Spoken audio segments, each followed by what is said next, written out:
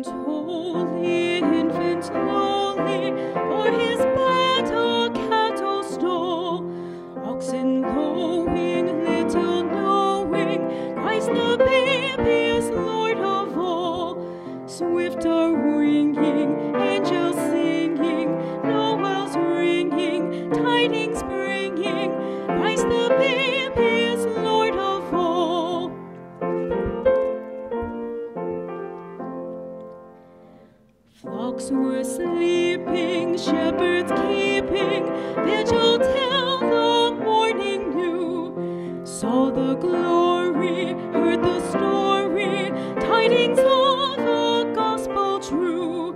Thus rejoicing, free from sorrow, praises voicing, greet the morrow. Christ the babe was born for you.